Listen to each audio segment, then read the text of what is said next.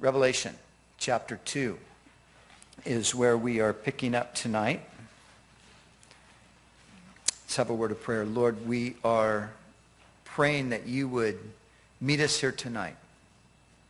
Lord, that you would really speak into our lives. And Lord, as this uh, is a word that you've spoken to the churches, and Lord, you said, he that has an ear, let him hear what the Spirit is saying to the churches. Lord, may we have an ear to hear tonight.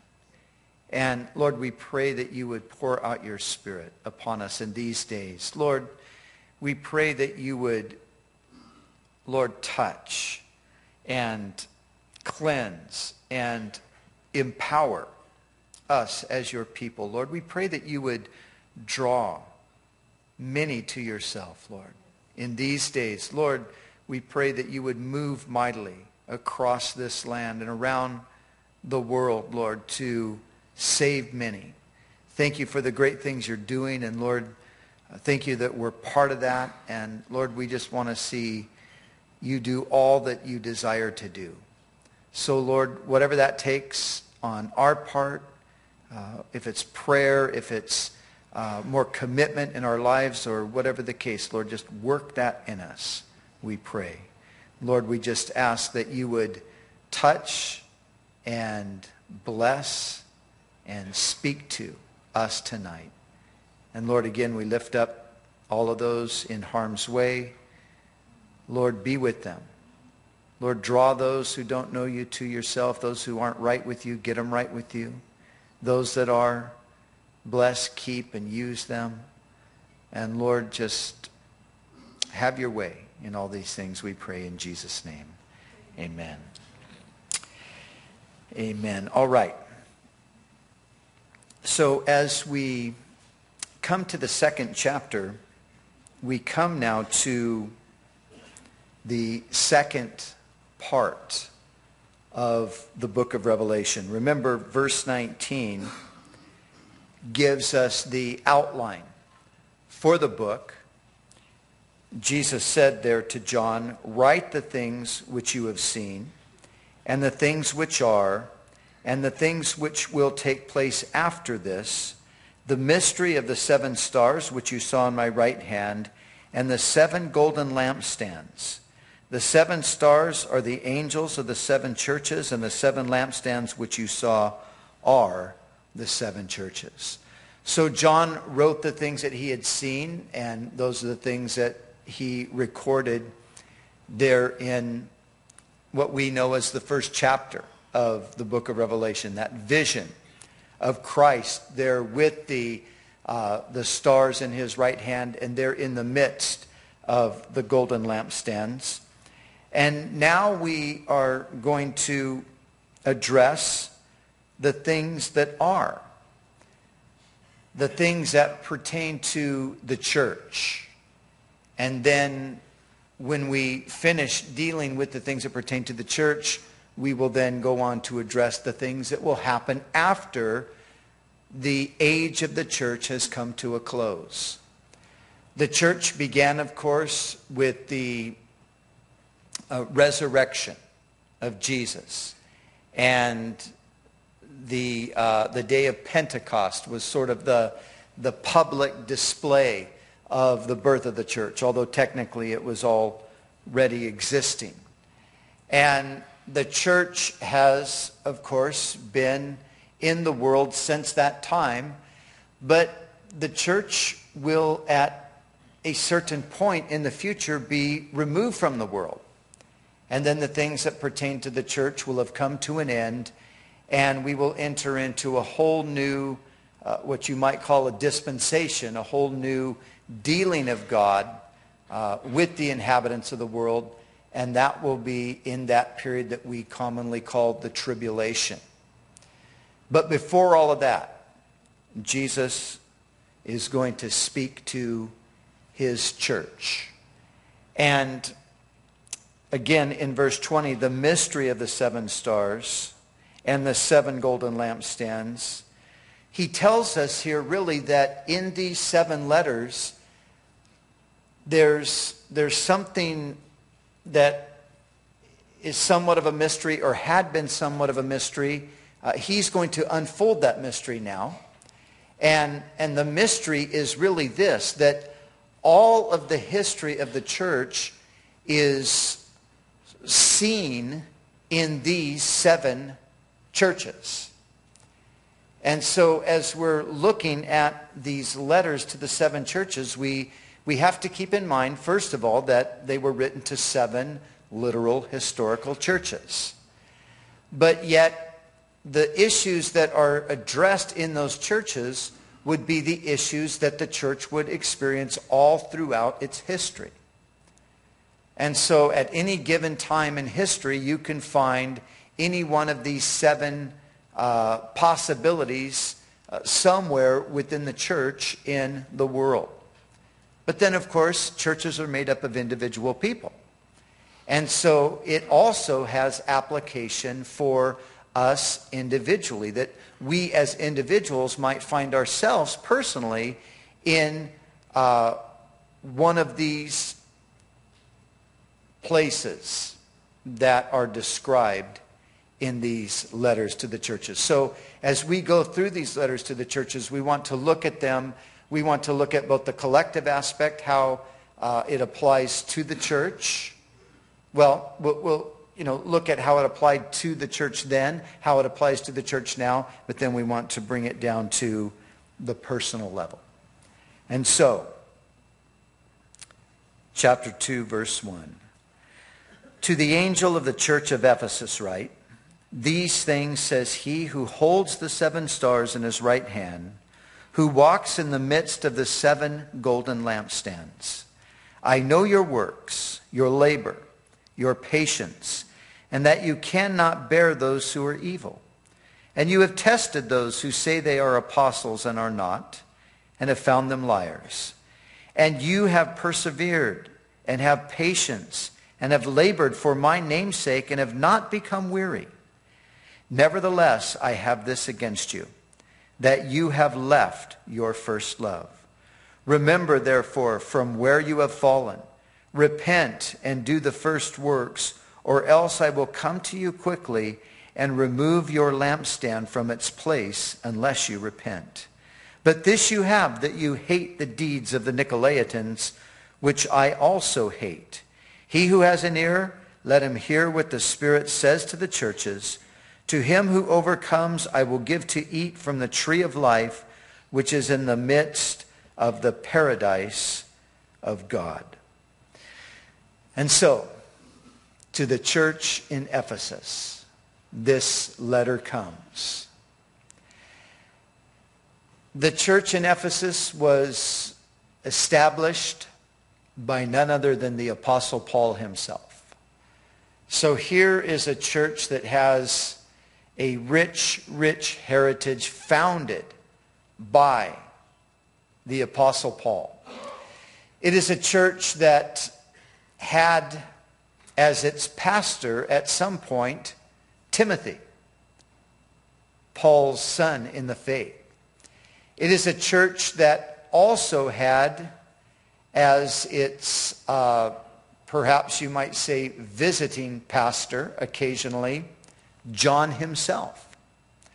And so here is a, a church that has just a tremendous foundation, an apostolic foundation.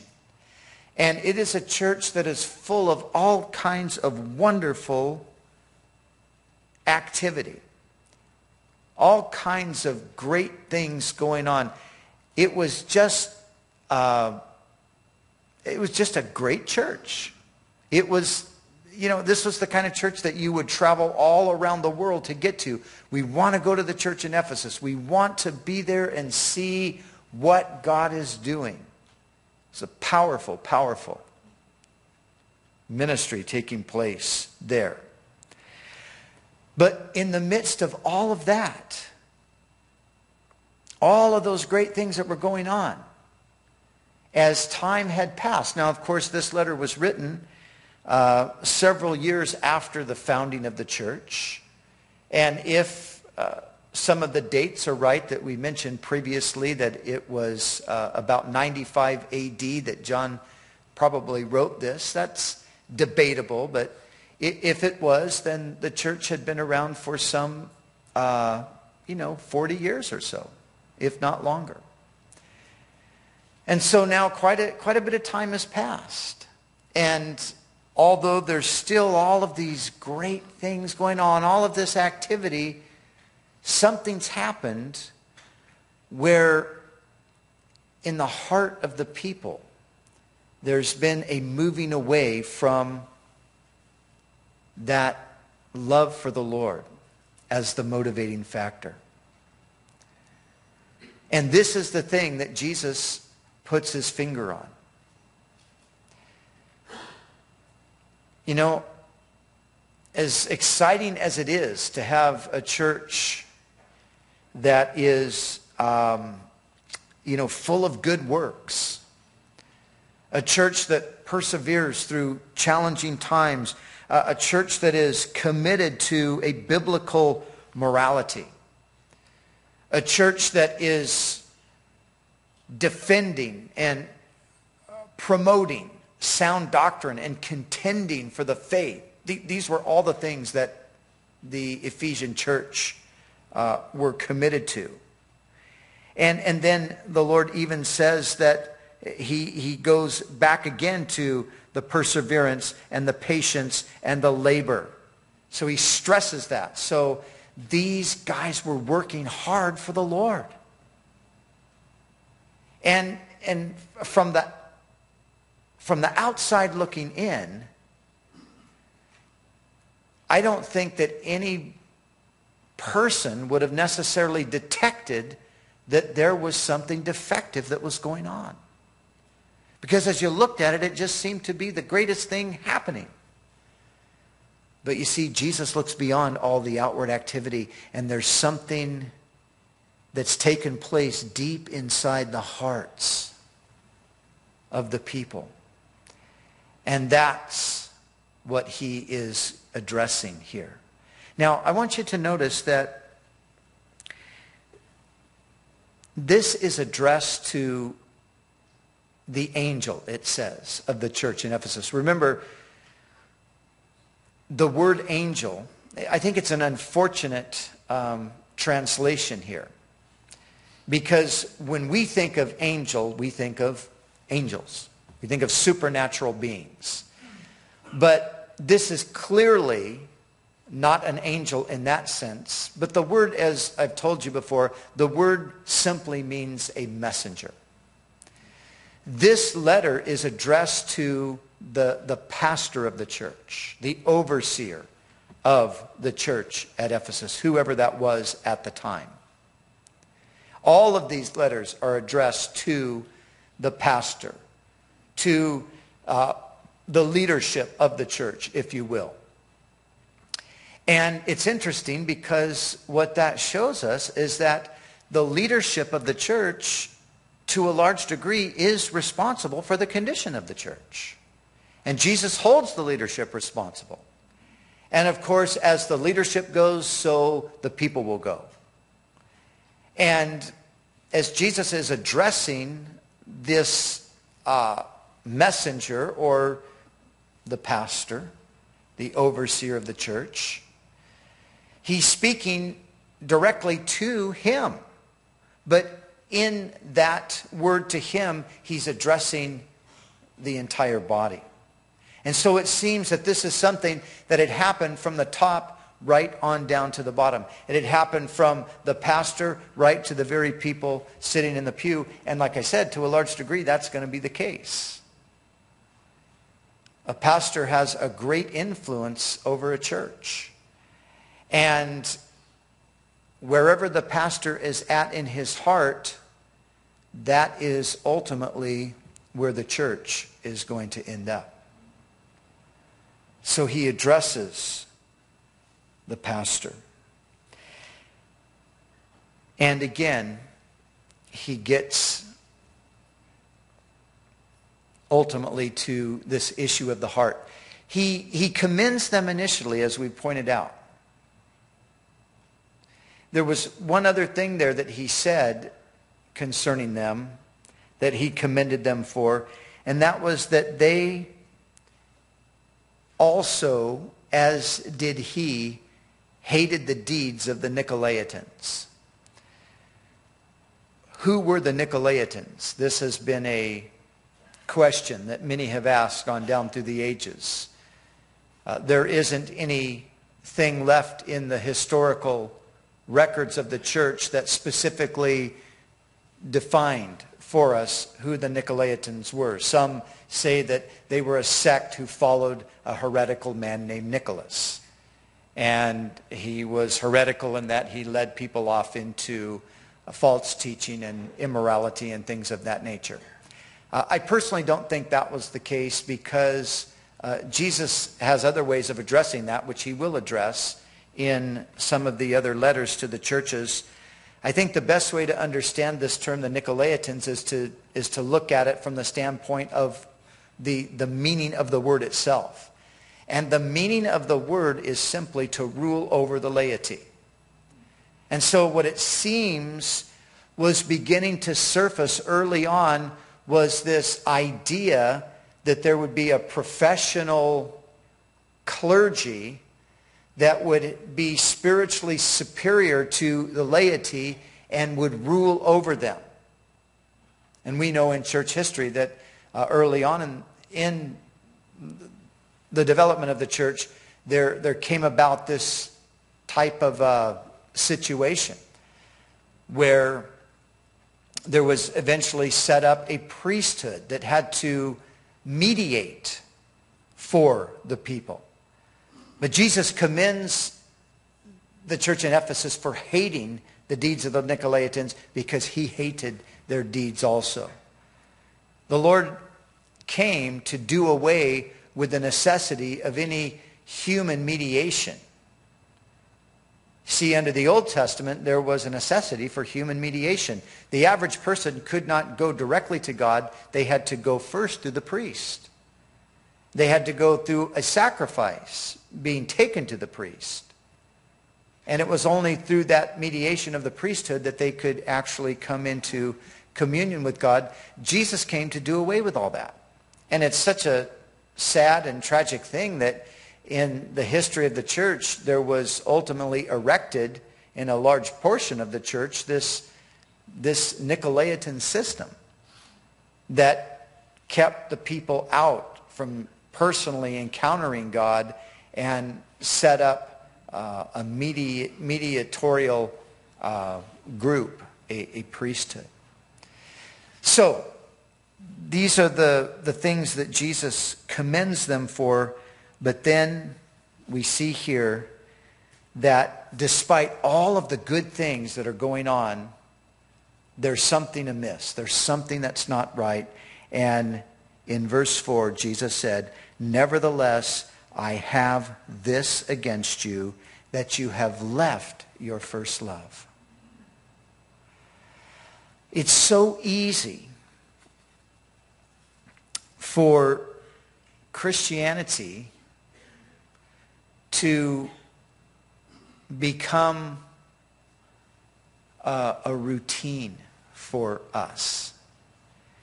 It's so easy for us to get into the habit of doing certain spiritual things, but moving away from the original motivation which came from our hearts, which was born simply out of love for who God is. It's so easy for that to happen. You know, I th- we've all probably had the experience of of maybe carrying some heavy burden around. And I'm not talking about an emotional burden, but it could be that. But, you know, physically, we've all had the experience of maybe having to carry something. Maybe you're moving or, you know, you've got to pick up the, the end of the couch or you, a refrigerator or a piano or something and, you know, you're carrying this thing and you feel like you're not going to make it. Your, your arms are going to fall off. Uh, you know, finally you get to your destination, you set it down and, you know, whew, what a relief. And, and you sense that relief. You, you've set that weighty thing down and you, you feel so good that you've been able to unload that burden. But you know, it's not too long before you even forget that you were lifting the thing. It, it just sort of passes. And you know, sometimes that happens to people spiritually as well. We come to Jesus and he delivers us from the burden of our sin. And initially we're so blessed. We're so excited. We're so thrilled. We're so thankful to have been relieved of this great burden. But after a while, we start to sort of get used to being relieved from it, and we forget how heavy it was. It's so easy to forget that.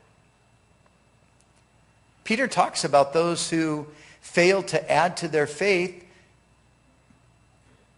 fail to grow in Christ, and he said their problem is that they have forgotten that they were purged from their old sins.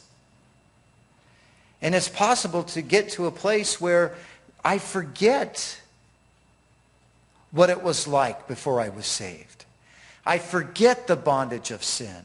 I forget how my life was so dark and meaningless. And because I've been saved for a while, I start to take my salvation for granted.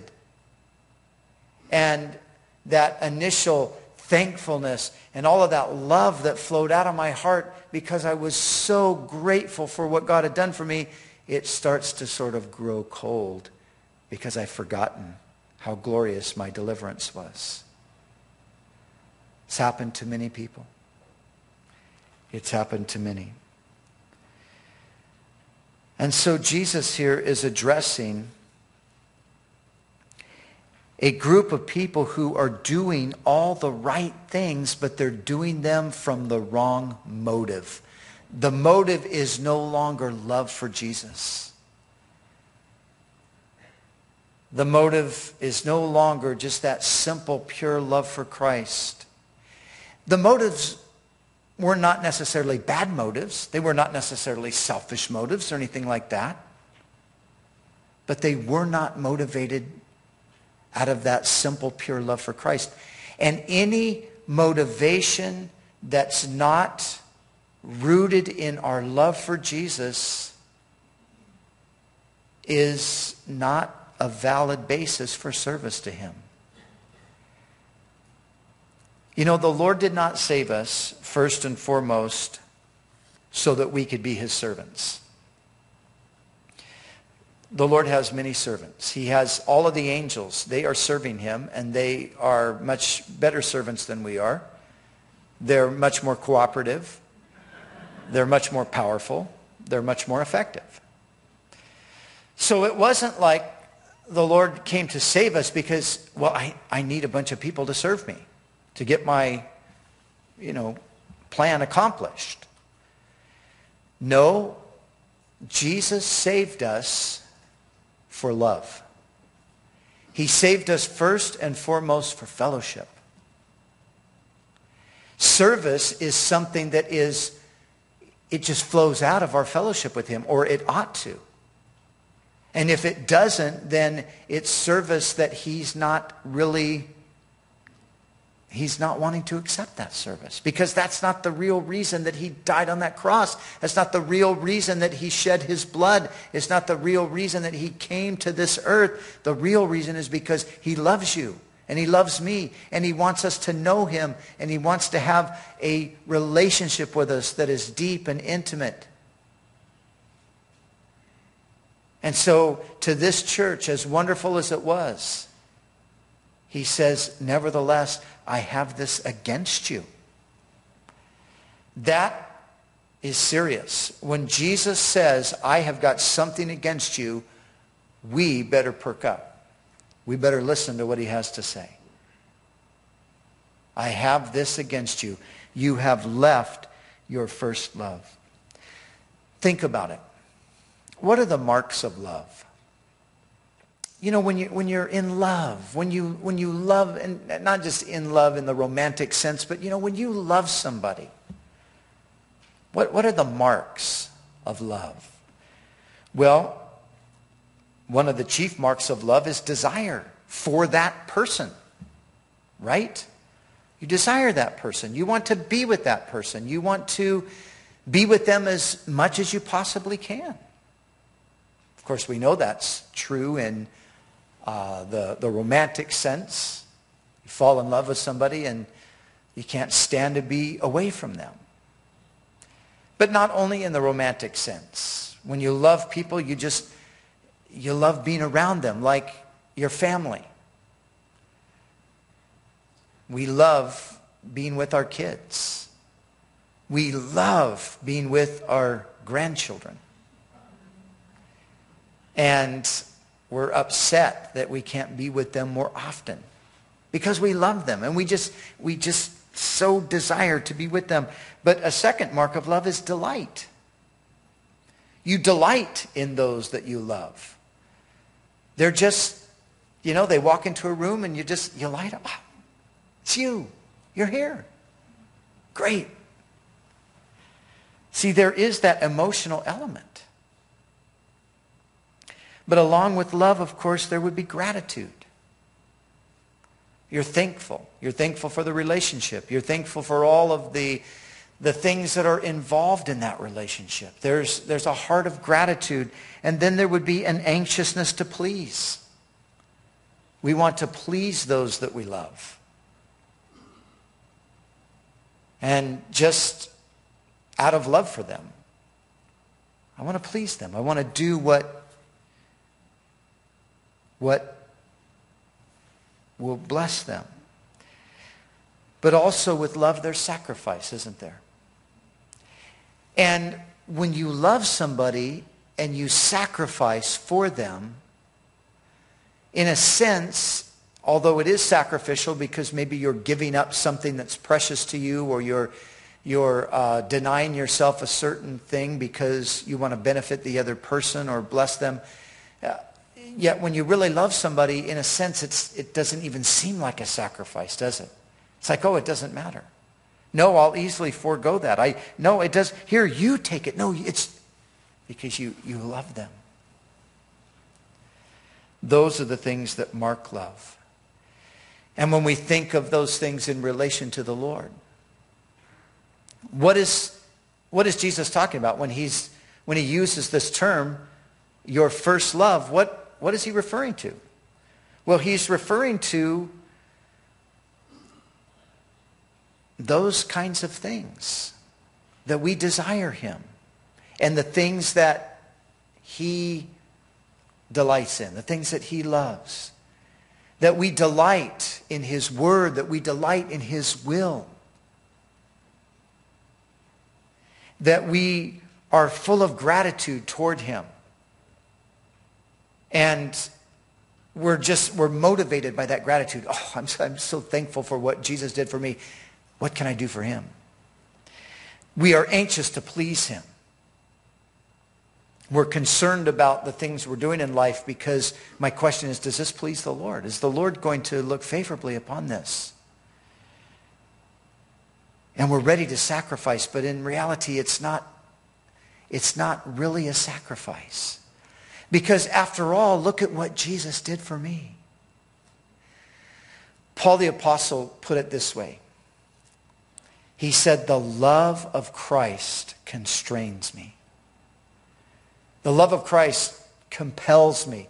He, he said the motivating factor in my life is love for Jesus Christ based upon his love for me. And he said, this is how I see it. He said, since one died for all, then all died. And we who live should no longer live for ourselves, but for the one who died for us and the one who rose again.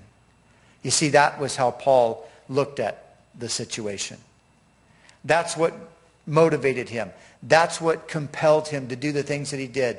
That was the constraining factor in his life. It was the love that Jesus had for him, that if Jesus would die for me, how could I do anything less than, if need be, give my life for him? And this is the thing that the Lord is addressing with that church in Ephesus. But Remember, it's not just that church in Ephesus that these things were written to, for. It's this church right here tonight. It's, it's this local body. And you know, it's interesting because as you look at the, the commendation element, I think that we as a, as a church, and even I'll take it a step further, even as a group of churches, because we belong to a, a movement of churches. But I think that as a movement of churches, we have some strong similarities to Ephesus. Now, most of the time I hear Calvary Chapel is the Church of Philadelphia. And uh, I hope we are. But the Church of Philadelphia and the Church of Ephesus were very, very similar in one respect, but they were very different in another respect.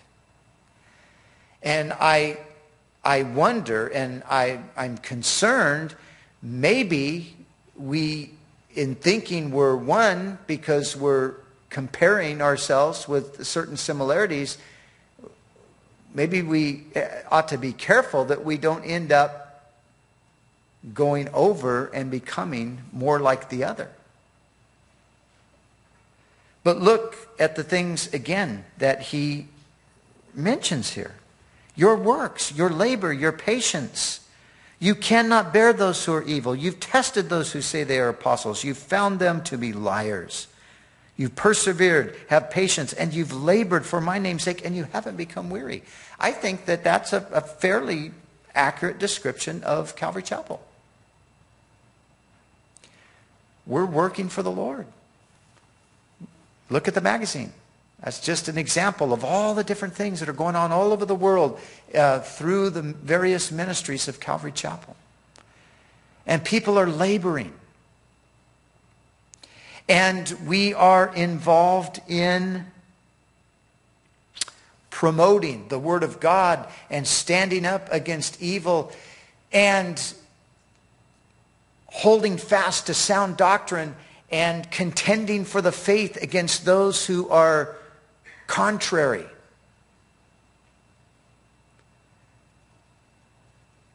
We are very much like Ephesus in that sense. But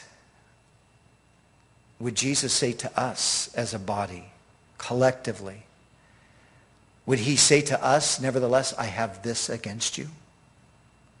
You've left your first love. Has it become a routine? Has it just become a habit? Has it just become this is the thing that you do because you're a Christian and this is what Christians do and you do it almost uh, effortlessly now. You do it without a whole lot of thinking. You do it without a whole lot of emotion. There's not a whole lot of prayer involved. You just, this is what we do. We've got the means to do it. We see that this is the need. And of course, this is the right thing. And we're going to do it. And we're serving God. And we're blessed. This is a subtle thing that Jesus is addressing here. It's something that's not easily detected on the surface. It's something that's in the heart. It's something that the Lord sees that another person might never see. But the Lord sees it. You have left your first love. And then, of course, there is that personal application. have we as individuals been guilty of leaving our first love? Have we been so involved in Christian service and good works and things of that nature that we've substituted those things for our relationship with the Lord. You know one of the most dangerous elements of ministry. You, most people don't realize this. Everybody in ministry knows it's true.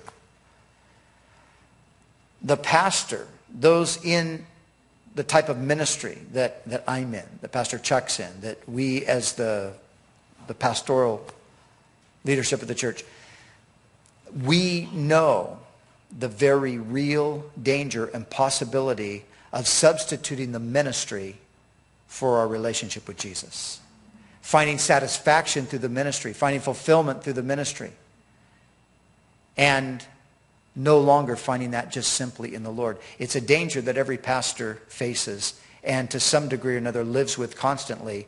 And so there's that constant challenge to keep ourselves in that place where we are doing this with the right motive. And this is something that over and over again I have to have a heart check on. Over and over again I have to go back. And there are times that I find that I am doing all the right things, but my heart is somewhere else.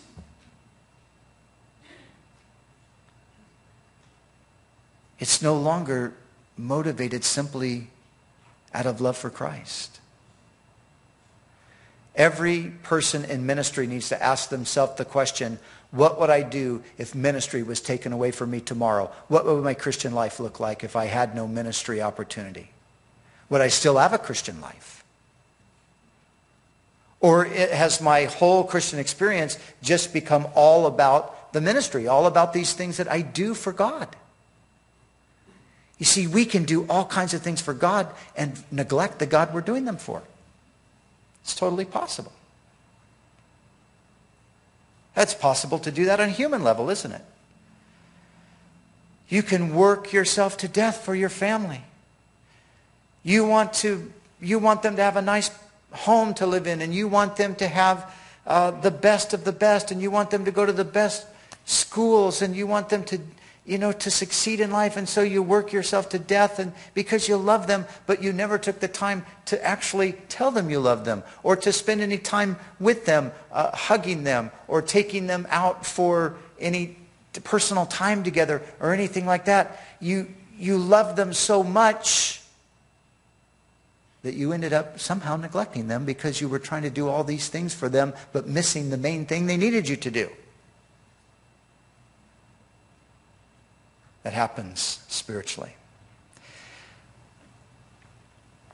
What is the solution to this condition? Well, listen to what Jesus said. Remember, therefore, from where you have fallen. Repent and do the first works. So there's three things basically here that Jesus tells us to do. Number one, he says remember. Number two, he says repent. And number three, he says in essence repeat. Remember what? Remember from where you have fallen. You see, we all start out in that place of just simply loving the Lord. I remember when I got saved, and I was so in love with Jesus. I would do anything for him. And the thought of doing anything for him was so thrilling.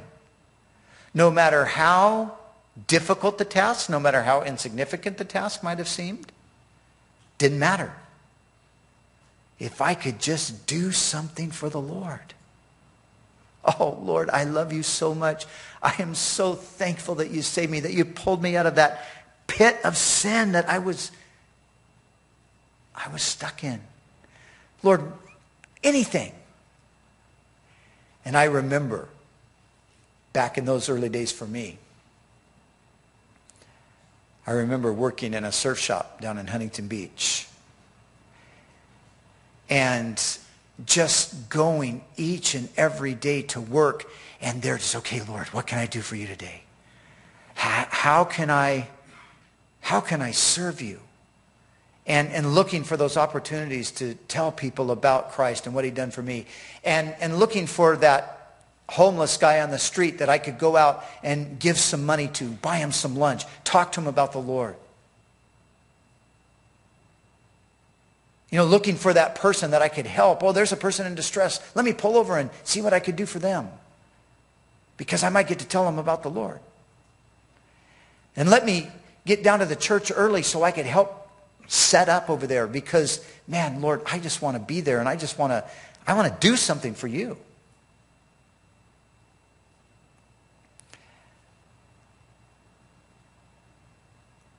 And those same kind of people like myself, and like you perhaps, those same kind of people can come to a point where they're still serving the Lord in the sense that they've got the position, but it's like, oh no, oh gosh, oh here comes somebody I've got to pray with.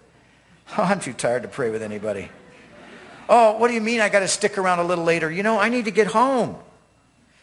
And come early and do what? Oh, no, not that homeless guy again. Oh, man, I just can't. You know, Jesus says, remember. Remember from where you've fallen. Remember how it used to be.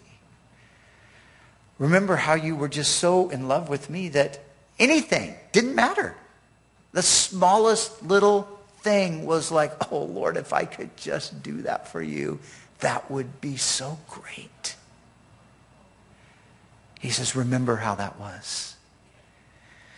Remember how it was. You couldn't wait to get to church because, man, this is the place where you could worship God. This is the place where you could hear more about him, learn more about him. You couldn't wait to get back with those uh, fellow believers because that you could pray together, you could encourage one another, you could go out and serve the Lord together. Jesus said, remember. Remember from where you have fallen. All that stuff that you were doing in the world, man, you were so blessed to just be freed from it. You were so just eh, thankful to have been delivered. It's like, you know, what has that got to do with me? I'm not interested in that. I don't, I, no, I, it doesn't hold any interest to me whatsoever anymore. It's not attractive. It's not what I want to be involved in. But then again, time passes and it's like, well, that was, you know, that wasn't all that bad. That was, that was, was some cool elements to that. And, you know, this is what happens. Jesus said, remember. Remember from where you have fallen and repent. What does the word repent mean? Well, to simplify it, it simply means to turn and go back in the direction that you had previously been going. The word actually means to have a change of thinking. Repent. have a change of thinking. have a change of thinking that results in a change of direction. So Jesus says, remember from where you've fallen and repent, turn around and go back to those things that you were doing. And then repeat. Repeat those things. Do the first works Go back and do the things that you did when you first got saved. Go back and do the things that you did simply because you were so thankful and so full of love for Christ that your whole world ultimately really revolved around him. Go back and do the first works. Now notice, they are doing works, and he commends them for works. But then he tells them, go back and do the first works. He's not saying, you know, get more involved, do more things around the church, go on more missions trips, go and, you know, out with the team and reach the homeless people on the streets and you know, get down there and get involved in the Sunday school and all that. They're doing all of that stuff. Go out and defend the faith, and they're doing all of that already. That's not what they need to go back and do.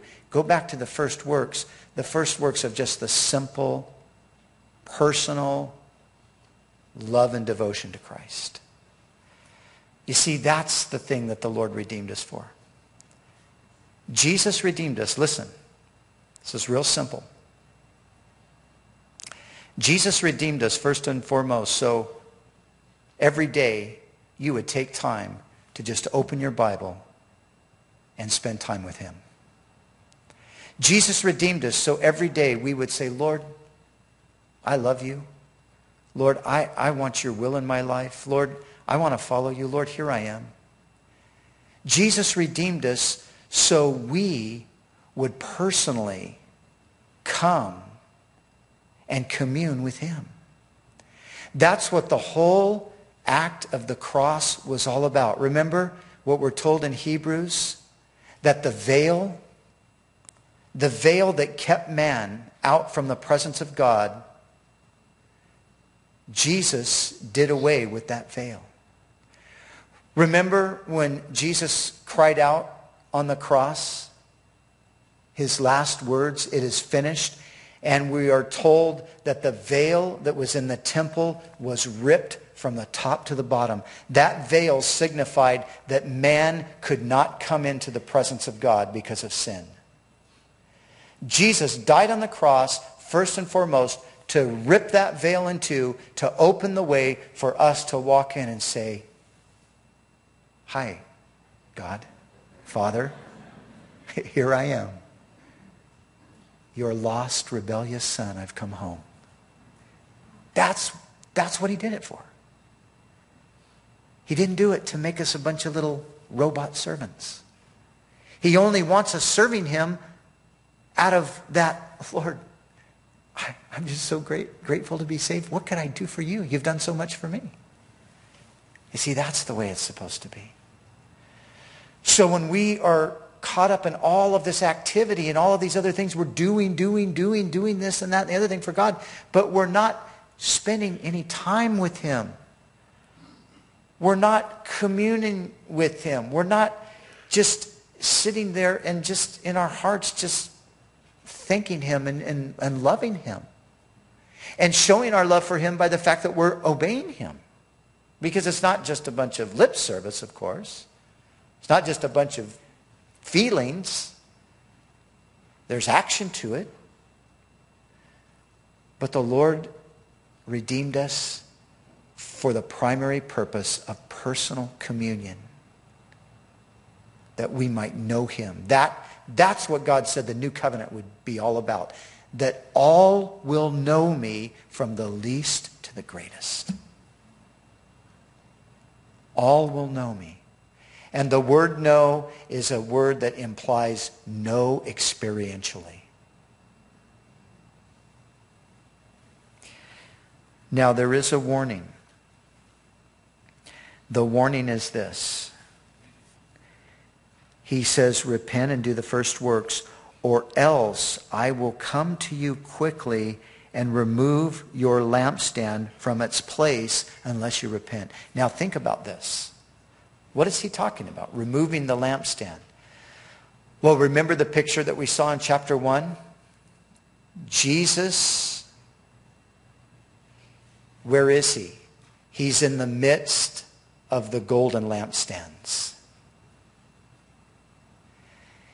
And what he's warning about is the possibility of the lampstand being moved outside of his presence. That he in other words, would no longer be in our midst.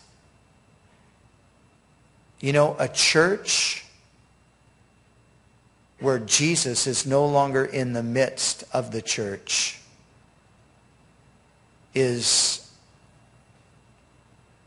a sad and tragic place. Jesus wants to dwell in the midst of his church. He wants his presence to be sensed. He wants to be here so that when we come here, gather here, well, of course, we, when we gather because we're the body, we gather in this building. But when we gather here together, he wants to be here with us. He wants to be present. He wants to be blessing us with his presence. But he will not remain in the midst of a church, in the midst of a body of people that do not love him first and foremost any longer. And there have been and there still are and there will be more. Many churches, they're doing all the right things. They've got a list longer than this one here of all the good things they're doing. They're doing all the right things. They be, they're believing all the right things. They're contending all of those things. But there's a conspicuous absence of the presence of God in those assemblies. Why? Because it's rote, because it's become a routine, because it's, it's external, but the heart has become disengaged.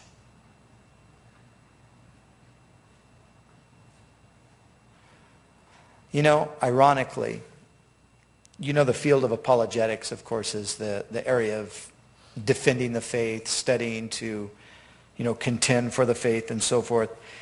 I have known many apologists over the years, very bright people, very well educated, got all of the arguments, can defend the faith, can just destroy any kind of opposition that comes along. But you know, quite honestly, I have met very few apologists that had a just a, an overflowing sense of, of God's presence with them. They know all the right things. They say all the right things. I'm not saying I haven't met any, but I, it, it's kind of an irony.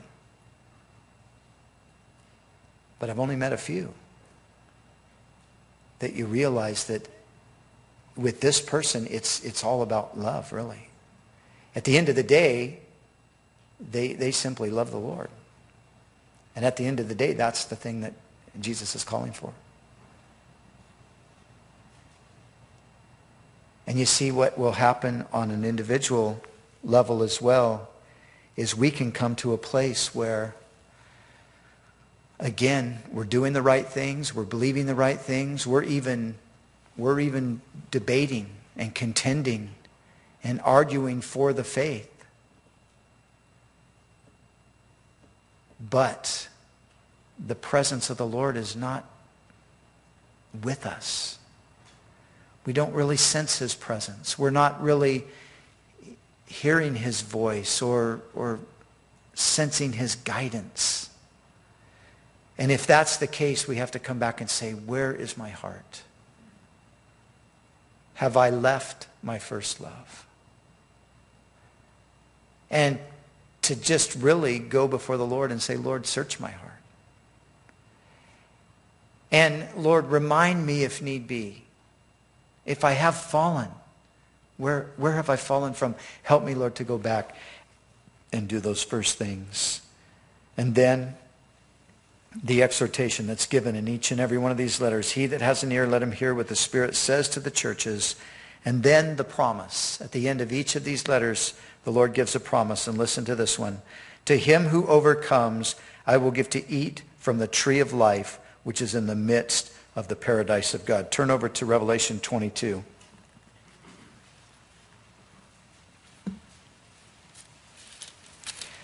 Verses 1 through 5. This is what Jesus is talking about. To him who overcomes, this is, this is the inheritance of the overcomer. And he showed me a pure river of water of life, clear as crystal, proceeding from the throne of God and of the Lamb. In the middle of its streets and on either side of the river was the tree of life, which bore twelve fruits, each tree yielding its fruit every month. The leaves of the tree were for the healing of the nations and there shall be no more curse. But the throne of God and of the Lamb shall be in it, and his servants shall serve him. They shall see his face, and his name shall be on their foreheads. There shall be no night there. They need no lamp nor light of the sun, for the Lord God gives them light, and they shall reign forever and ever.